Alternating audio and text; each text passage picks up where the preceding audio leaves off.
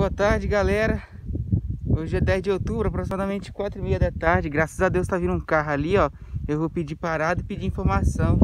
Eu tô meio que apreensivo, não sei pra onde ir. Eu tava indo pra aquela direção, ó. Graças a Deus tá vindo um carro. Vou dar com a mão aqui e ver se ele para. Graças a Deus. Obrigado, Senhor. Valeu, galera. Abraço. Até o próximo vídeo.